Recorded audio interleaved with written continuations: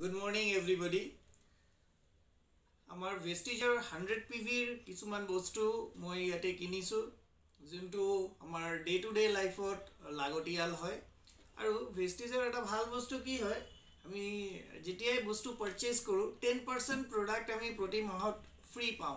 চ' hundred P ভিৰ বস্তু কিনাৰ কাৰণে এইটো মাহত এৰাউণ্ড মই তিনি হাজাৰ আঠশ টকা নশ টকা দিছিলোঁ।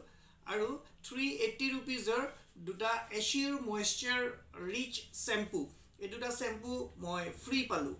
চ' থ্ৰী এইট্টি ৰুপিজৰ মই ফ্ৰী পালোঁ। আৰু এটা কথা আপোনালোকক জনাই থওঁ হাণ্ড্ৰেড পি ভিৰ বস্তু একেৰাহে চাৰি মাহ যদি আমি কিনো তেতিয়াহ'লে পঞ্চম মাহত আমি অলমষ্ট তিনি হাজাৰ টকাৰ এম আৰ পিৰ মানে ডিষ্ট্ৰিবিউটৰ প্ৰাইচ পঁচিছশ পোন্ধৰ টকাৰ বস্তু আমি ফ্ৰীকৈ পাওঁ। চ' গতিকে কনচিষ্টেঞ্চিত হাণ্ড্ৰেড পি ভিত বজাৰ কৰি পেলাই আমি মেক্সিমাম বেনিফিট ল'ব পাৰোঁ। Thank U